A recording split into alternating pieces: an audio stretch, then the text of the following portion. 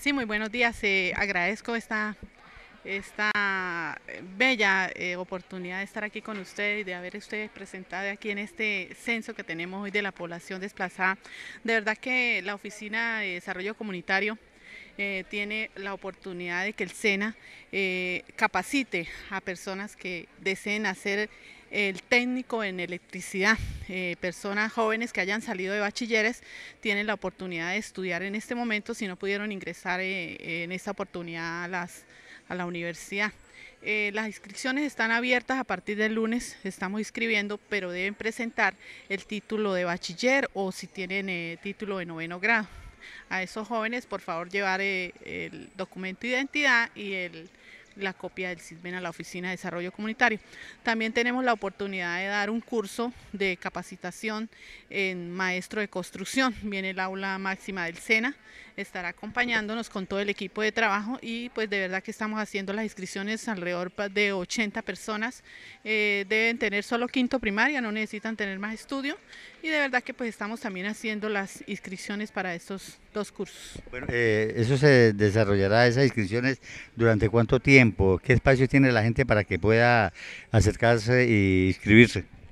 Pues a partir del lunes eh, tomamos unos ocho días en inscripciones, mientras el aula máxima del SENA viene para instalarse aquí diagonal a la policía, ahí vamos a instalar.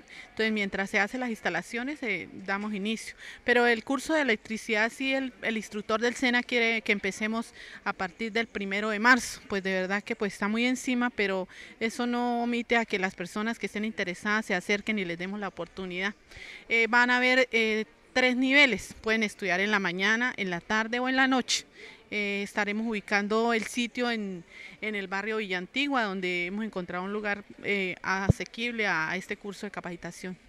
Doña Rocía, eh, ¿hay algo que se refiera a los abuelitos, a la gente de la tercera edad? ¿Qué noticias hay para esa gente que, que encuentra uno a diario y con ánimo, porque el abuelito es, está con esa predisposición de, de ser una persona útil, seguir siendo útil a la sociedad. De verdad que un abrazo muy fuerte para todos los abuelos del municipio de Villalrosario. Eh, los abuelos eh, que reciben subsidio, de verdad que para la segunda semana de marzo estamos pendientes de que llegue la nómina y empezar a pagar este, este subsidio.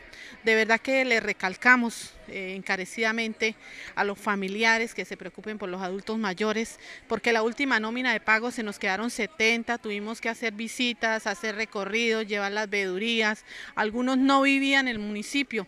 Eh, algunas personas que cobraron una sola vez y que en este cobro pasado y que las buscamos y no viven de pronto en el municipio, les pedimos que por favor se acerquen, se comuniquen con nosotros, porque vamos a hacer una veeduría de realmente, porque los subsidios son para las personas que vivan aquí en el municipio y de verdad que se va a hacer un seguimiento de parte de tanto de la Oficina de Desarrollo Comunitario como de parte de las veedurías y del Ministerio de la Protección Social.